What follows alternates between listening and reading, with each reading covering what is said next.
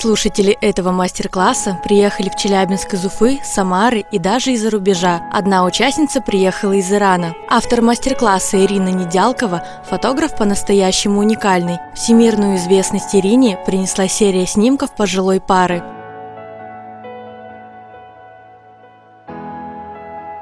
Фотосессия с Сергей Арктика и Валентина была создана в Санкт-Петербурге на Финском заливе.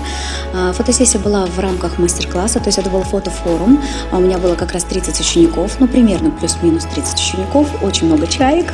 А, чайки были созданы, естественно, это не фотошоп, это было искусственно приманено, то есть мы набрали огромные пакеты с хлебом, бросали в небо, увидели одну чайку и стали их прикармливать. Мне очень нравится фильм «Дневник памяти», я обожаю этот фильм, и, и как раз накануне этой съемки был, вышел клип у Анжелики Варум, а, он назывался «Мама». И вдоль, э, в клипе были такие картинки, я сейчас вот у меня даже мурашки поднимут, вдоль а, линии пляжа идет такое вот поколение, мама идет, дочка, внучка. Но, естественно, повторяться не хотелось, но почему-то хотелось заснять вот именно пожилую пару. Пожилую пару. Найти ее было очень сложно, мы стали искать по своим родственникам, друзьям, а, по организаторы стали рыть носом, искать, где же найти героев, но, к сожалению, не нашли.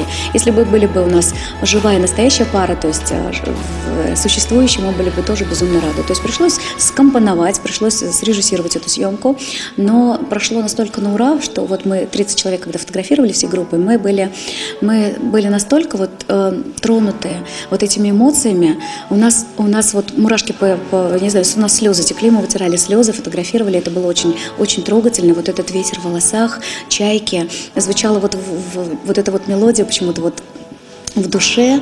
Э, ну, все сложилось на ура. Я выложила себе в социальные сети, это был Инстаграм, Контакт, Фейсбук, и потихонечку стали, а, выложил Canon, официальный сайт Canon выложил эту серию, потому что я снимала на Canon, они меня запросили параметры снимков. Вот, дальше, а, в общем, сарафанное радио включилось, пошли группы «Миллионники» ВКонтакте, и Реально у меня где-то по 10 тысяч человек в день добавлялось в Инстаграм. Мне писали со всего мира. В Канаде было 13 миллионов просмотров только за сутки, за сутки.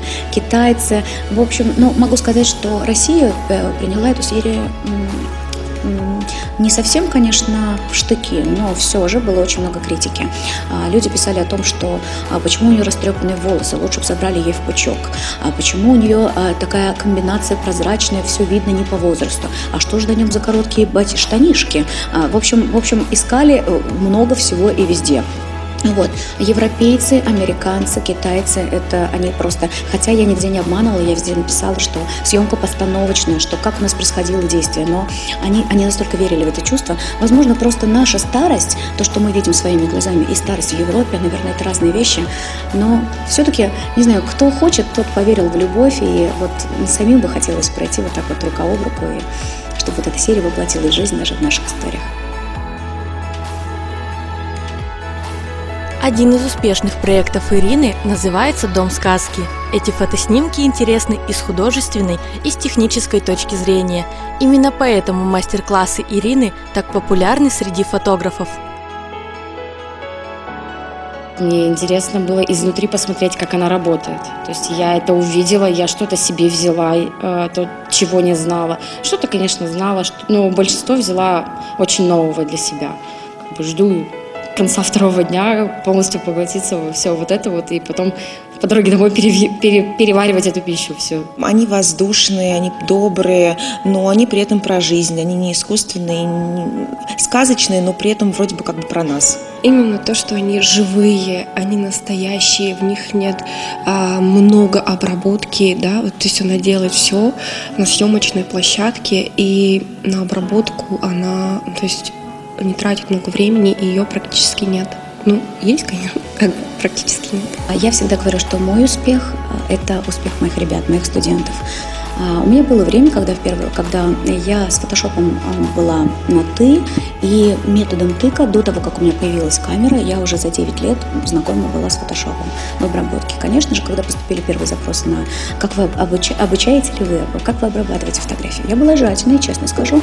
Я воспринимала все категорично нет, потому что я думала, как же так? Это я сейчас свои знания кому-то раздам, и вы пойдете завтра снимите лучше меня? Нет.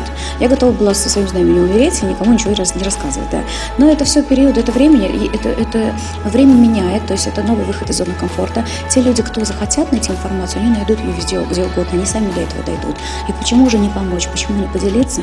И для меня сейчас, вот для меня это какое-то удовольствие, когда я вижу реально в социальных сетях после моих уроков, а, я вижу, что э, фотографы, картинки другие, они растут, я за них искренне радуюсь, вижу, вижу их победы. Это ни в коем случае не конкуренция. В любом случае ты впереди, ты все равно идешь дальше. Вот. Это, это здорово.